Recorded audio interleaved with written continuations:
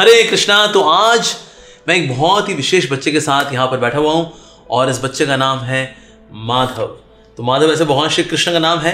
तो माधव जी का ये बहुत ही प्यारा सा ये ये मानव, उन माधव का बड़ा अच्छा भक्त है।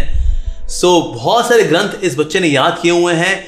इतनी छोटी उम्र में, इतना स्पिरिचुअल नॉलेज के लिए प्यास होना, ये बहुत ही अपने आप में अलग बात है। आजकल के बच्चे देखे नाम। अरे बाबा, वैसे बोला जाता था, बच्चे मन के सच्चे। लेकिन आजकल के बच्चे नहीं रहे इतने सच्चे, बल्कि पूरे हैं कच्चे। लेकिन ये बच्चा जो है कुछ खास है। तो आइए जानते हैं माधव के बारे में माधव से ही। सो माधव, आपका हार्दिक स्वागत है इस इंटरव्यू में। तो आपने कितने शास्त्र याद कर लिए? उनके शास्त्रों के कुछ नाम बताइए, जो कि आपने पढ़ लिए हैं, आपको पूरा समझ में आ गया है। तो उन शास्त्रों के नाम तो बताइए सबको। मैं आठ वर्ष का हूँ और मुझे आठ ग्रंथ याद हैं। उनका नाम क्या है? श्रीमद् भगवद गीता, भागवतम, चैतन्य चरतामृत, चाणक्य नीति, ईशोपनिषद, उपदेशामृत, ब्रह्म संहिता, पदम पुराण। ये आठ के साथ इनकी है साठ गांठ। अरे बाबा, ये ये मतलब इसके लिए इंस्पिरेशन कैसे आई आपको? क्योंकि बच्चे, आपकी उम्र के बच्चे होते हैं नेटफ्लिक्स पे पिक्चरें देख रहे होते हैं, गाना बजाना देख रहे होते हैं लड़कों के साथ घूम रहे होते हैं गुलेल से बेर तोड़ रहे होते हैं। लेकिन आपने इस उम्र में ये ग्रंथ पढ़ना सोचा कैसे? क्योंकि आजकल लोग पढ़ाई लिखाई कुछ करते ही नहीं है। ये तो अपने स्कूल की पढ़ाई नहीं करते हैं, ग्रंथ दूर की बात। आप स्कूल की पढ़ाई भी कर लेते हो और ये ग्रंथ वाली पढ़ाई भी कर लेते हो। ये इसके लिए आपको प्रेरणा कैसे आए जब मैं लॉकडाउन में था पाँच वर्ष का था मैं उस समय तो हम मेरे फादर ने कहा मेरे से कि मनुष्य जन्म पाइया राधा कृष्ण ना भजिया जानिया सुनिया विष मनुष्य जन्म मिला है और तुमने राधा कृष्ण का भजन नहीं किया जानिया सुनिया विष खानियो जान मुझ कर विष खाने के बराबर है। तो फिर मैंने एक श्लोक याद किया और जब अपने वैष्णव स्वामी महाराज को सुनाया श्लोक तो महाराज ने कहा तो इस पे और ध्यान दो और तुम और सारे श्लोकास करो। तो तब मैंने एक दिन में फिफ्टी फिफ्टी श्लोका याद करके आज टू थाउज़ेंड श्लोका याद कर लिए हैं। और प्रभु जी की कृपा से और प्रभुपा जी की कृपा से मैं इतने श्लोक याद कर वाह मेरी कृपा से तो ये श्लोक याद नहीं किए होंगे बिकॉज़ मेरे को भी इतने श्लोक याद नहीं है। तो इसलिए मेरी कृपा से तो हरगिज नहीं है। पर निश्चित रूप से भगवान की तो बहुत ढेर सारी कृपा है। माधव के ऊपर। सो भगवान श्री श्री राधा माधव जी ने माधव के ऊपर कृपा की तो इतने सारे इनको श्लोक याद है। सो आपकी पसंद के टॉप थ्री श्लोकाज बताइए और उसकी ट्रांसलेशन बताइए और आपको क्यों पसंद थोड़ा ये बताइए। क्योंकि मेरे को ये श्लोका श्रीमद् भागवतम के प्रथम स्कंद के प्रथम अध्याय के तृतीय श्लोक है हाँ। निगम कल्पतरुरगलितं फलम् शुकमुखादमृतद्रव्यसंयुतं पिबत भागवतं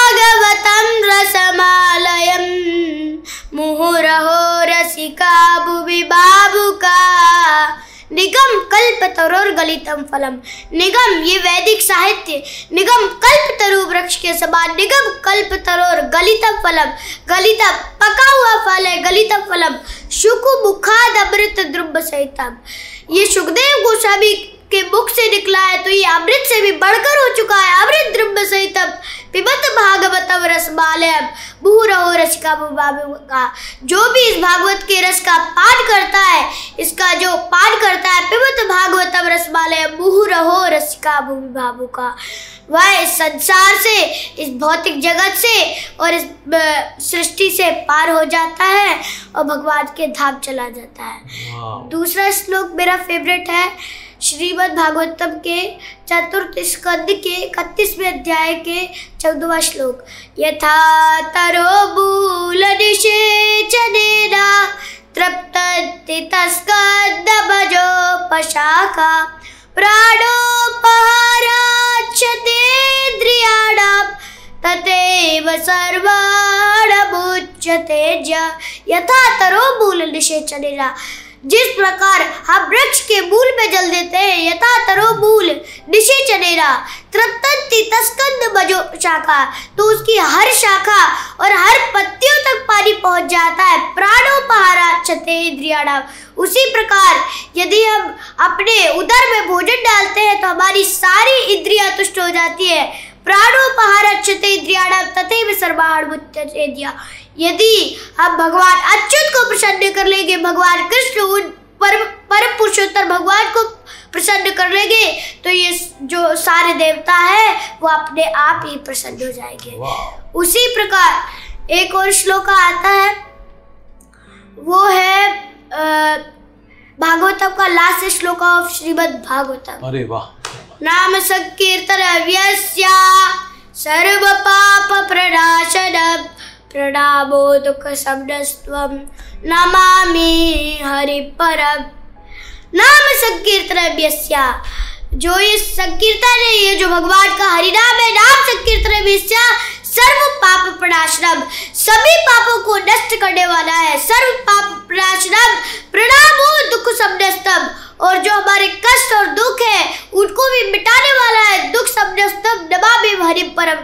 ऐसे में हरि ऐसे में भगवान को प्रणाम करता हूँ नमस्कार करता हूँ। वाह यानी कि भगवान की नाम की महिमा आप जानते हो तो आप अभी कितनी माला करते हो? ऐसे अभी आपकी बैग है अभी आप कितनी माला कर लेते हो? टेन टेन इस उम्र का बच्चा दस माला जब करे टेन टेन तो कमाल कर दिया रे। माधव क्या बात है? तो आप सुबह सुबह जपा कर लेते हो? कितने बजे आप जपा करते हो? मैं सुबह पाँच बजे उठता हूँ उसके बाद भागवतम का रिवीजन करने के बाद इसको करता भागवतम का रिवीजन ये रिवीजन में क्या क्या कवर करते हो और कितनी देर करते हो रिवीजन रिवीजन कभी थ्री चैप्टर हो जाता है कभी टू चैप्टर कभी वन चैप्टर यदि बड़ा होता है तो। वाह उसके बाद श्रीमद् भागवतम के बाद इसका माला करते तो ये स्टडीज़ में आप कितना समय देते हो? जैसे हमने कोविड में पढ़ाई शुरू की थी तो उन दिनों में तो पढ़ाई खूब हो गई कुछ करने को नहीं है ज़्यादा पढ़ाई की। तो आज अभी आप गुरुकुल में पढ़ाई कर रहे हो? यस तो गुरुकुल में कितना समय जाता है और इसमें कितना समय जाता है? गुरुकुल में सुबह साढ़े सात बजे से लेके शाम के चार बजे तक वहाँ रहता हूँ उसके बाद यहाँ आता हूँ उसके बाद अपना होमवर्क करके उसके बाद इसी में लगा रहता अरे तो खेलते कूदते नहीं होंगे हमारे दोस्त यार तो खेलते कूदते होंगे। खेलना कूदने में कितना टाइम टाइम लगाते हो? खेलना कूदना बंद कर रखा है।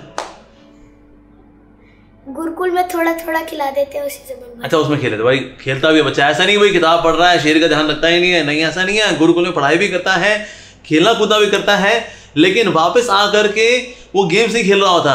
Need for Speed Candy Crush आज का सारे बच्चे उसी में लगे हुए हैं। इस बच्चे से सारे बच्चों को प्रेरणा लेनी चाहिए कि वापस आ करके अगर रिक्रिएशन ही करना है, आमोद प्रमोद करना है तो किसमें करना चाहिए? बुक्स में करना चाहिए। आपको क्या लगता है कि आपकी लाइफ में ये बुक्स को आप, जो आपने पढ़ा तो आपकी लाइफ में क्या वैल्यू ऐड हुई? आपको लगा कि ना, ये तो मेरी लाइफ में एकदम झिंगा लाला हो गया। जस्ट जस्ट बिकॉज़ मैं शास्त्र पढ़ रहा हूँ ना, ये लाइफ में मेरे को ये दो तीन चीज़ें तो कमाल की मिल गई। ऐसा क्या मिला आपको शास्त्र पढ़ के?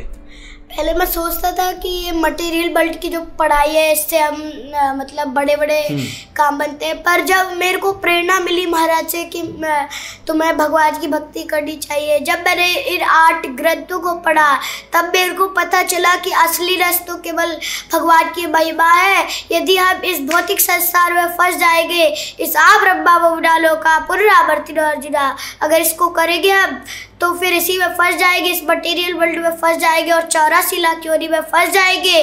और इससे फंसने से अच्छा क्यों ना हम भगवान की भक्ति करके भगवान के लोग जाए और इस संसार में क्यों बिताएँ? क्योंकि कलयुग तो अभी अभी तो कुछ नहीं है। कलयुग पर जब घोर कलयुग आएगा तब हम क्या करेंगे? तब हम इस संसार में तड़पेंगे। क्या होगा हमारा?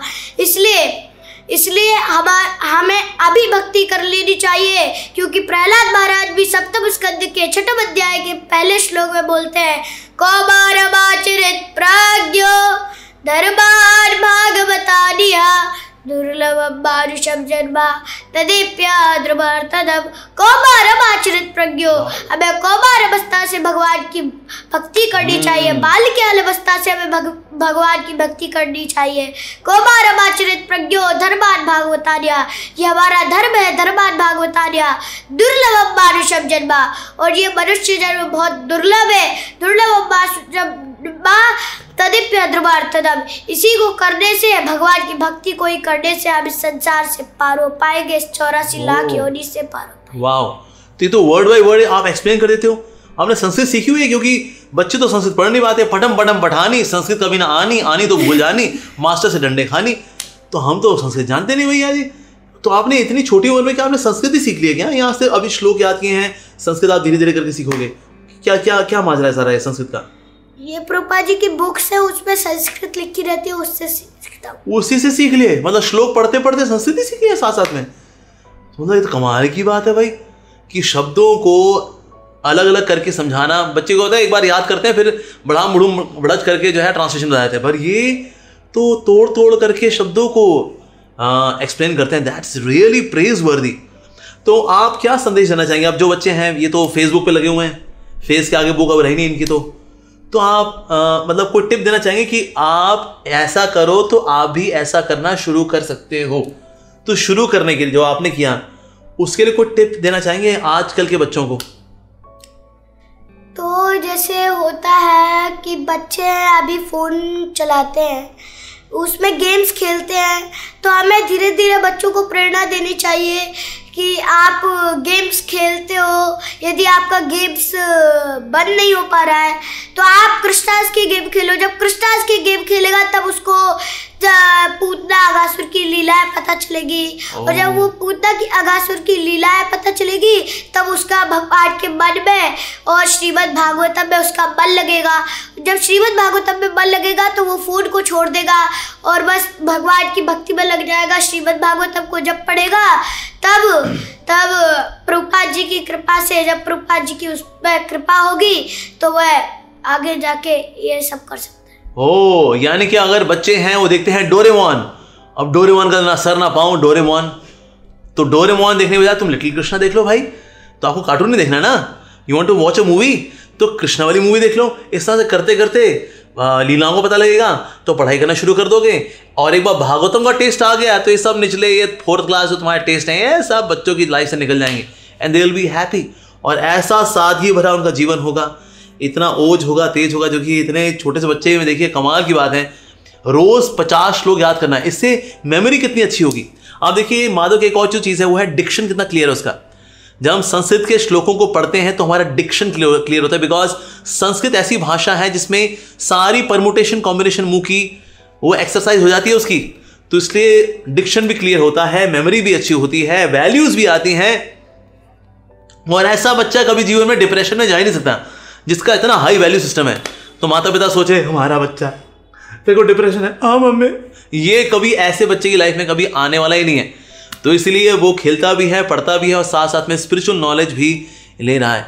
सो so, आजकल के बच्चों को अगर रोल मॉडल चुनना है अपना अगर हीरो चुनना है so here is a role model here is a hero to pursue तो आपको क्या करना चाहिए? माधव की फ़ोटो लेकर के फ्रेम करा करके अपने कमरे में रखनी चाहिए कि एक दिन मैं भी माधव के जैसा बनूँगा।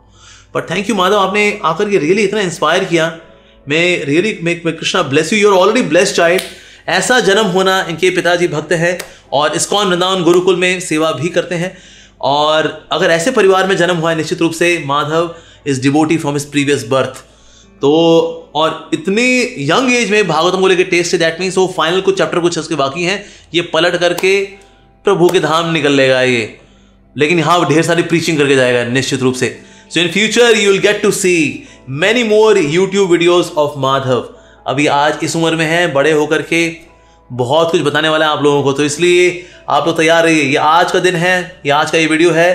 Please mark my words Amogh Leeladas is telling you in future you will get to see Madhav with more videos more knowledge sharing in future so thank you Madhav we really love you so much आप इतने प्यारे बच्चे हो and you are so blessed और हम प्रार्थना करेंगे, जो भी बच्चे देख रहे हैं, वो आपसे प्रेरणा लें। और आज हमें बहुत सारे माधव चाहिए दुनिया को बदलने के लिए। So we really pray for that we pray for good health of Madhav may Krishna give him all kind of protection so we pray for him by chanting Hare Krishna Hare Krishna Krishna Krishna Hare Hare Hare Ram Hare Ram Ram Ram Hare Hare may Shri Shri Radha Madhav Radha Shyam Sundar ji की blessing our dear lovely child Madhav बस बस मेरे बच्चे सो so, बहुत बहुत धन्यवाद आप लोगों का कि आपने वीडियो देखा। सो स्टे ट्यून देखते रहिए इस तरह के वीडियोस इंस्पिरेशन लेते रहिए ऐसे प्यारे प्यारे भक्तों से जिनका एज का पता नहीं है ये छोटे हैं लेकिन अरे बहुत कुछ है तो इनका भविष्य बहुत उज्जवल है। So thank you very much for watching this video Hare Krishna.